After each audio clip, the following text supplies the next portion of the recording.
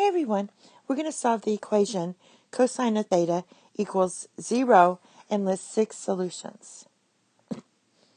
So first let's find where cosine is 0. That means where x is 0 here and here. That means it's at pi divided by 2 and 3 pi divided by 2. So let's write a general formula for our solution set. Theta equals pi divided by 2 plus 2k pi or theta equals 3 pi divided by 2 plus 2k pi. We let k be any integer. And that just means k can be 1, 0, negative 1, 2, just your integers.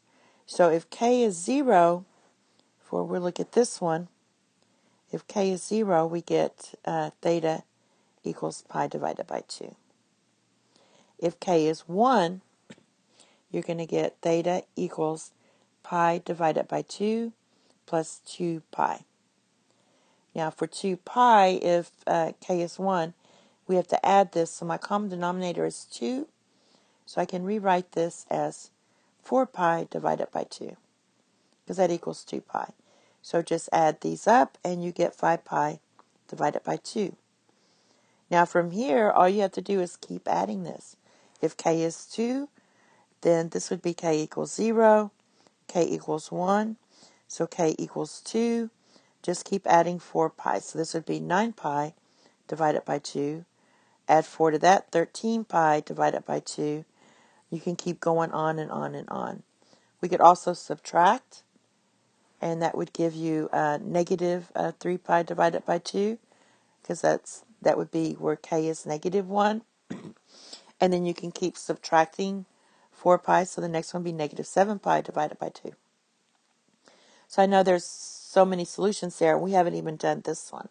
So this one's the same thing. You have theta equals 3 pi divided by 2. So we already have 3 pi divided by 2 if k is 0. We have to get that one in. All right, now let's uh, add our 2 pi. So that's going to give you 7 pi divided by 2 Keep adding 4 11 pi divided by 2, adding 4 15 pi divided by 2, and so on. If k is negative 1, you could subtract, and that would give you negative pi divided by 2.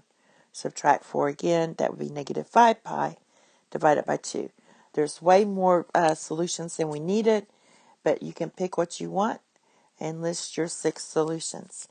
Thank you. Have a nice day. Bye bye.